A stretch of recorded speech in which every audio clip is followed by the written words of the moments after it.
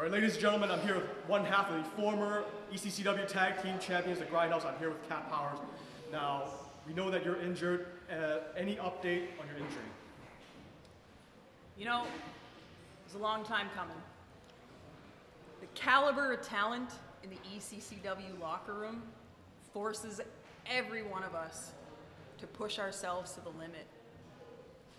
And unfortunately, mine caught up with me.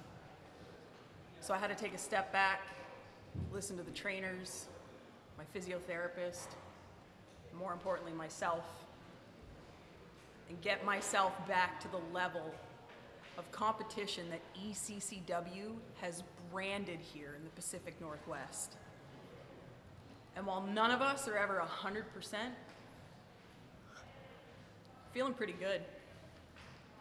That we might not be the ECCW tag team champions anymore, but everybody knows that Grindhouse is always ready to throw down.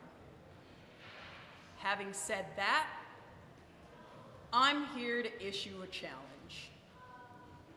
Right here in New West, December 7th, for the first time ever.